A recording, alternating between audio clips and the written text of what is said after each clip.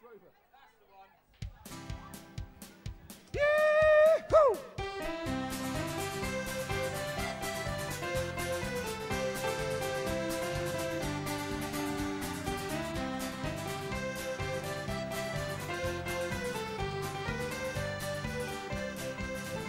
On the 4th of July 1806, we set sail for the sweet cove of Cork.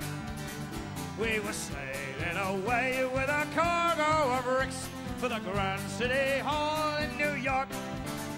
It was a wonderful craft, she was rigged fore and aft, and oh how the wild winds drove her, she had several blasts. We had 27 masts, and we called her the Irish Rover. We had one million bags of the best like a. We had two million barrels of boats. Carnage.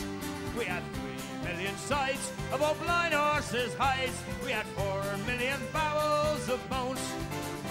We had five million hogs, six million ducks, seven million barrels of porter. We had eight million bales of old nanny goat's tails in the whole of the Irish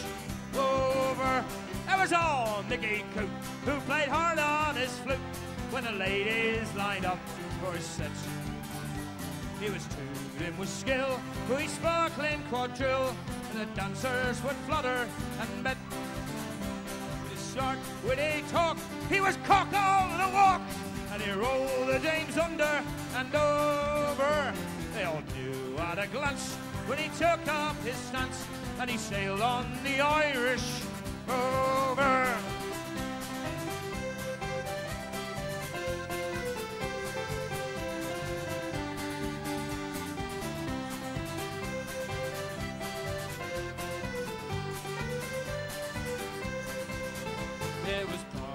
McGee from the banks of the Lee. There was Hogan from County Tyrone. There was Jimmy McGurk, who was scared stiff of work, and a man from Westmeath, Bob Malone. There was Slugger O'Toole, who was drunk as a rule, and fighting Bill Tracy from Dover. And your man, Mick McGann, from the banks of the Bann, was the skipper on the Irish Rover. We had sailed several years when the measles broke out, and the ship lost its way in a fog. And a whale of crew was reduced down to two, just myself and the captain's old dog. And the ship struck a rock. Boy, what a shock! The bulkhead it turned right over. Nine times around, and the poor old dog was drowned. I'm the last of the Irish Rover.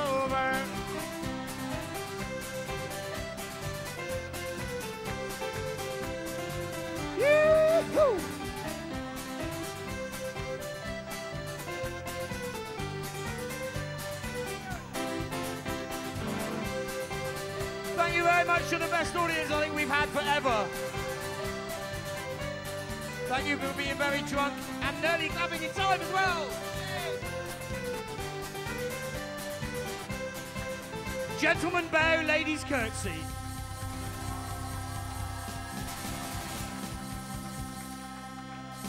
Thank you guys. We can't follow that. Thank you very much.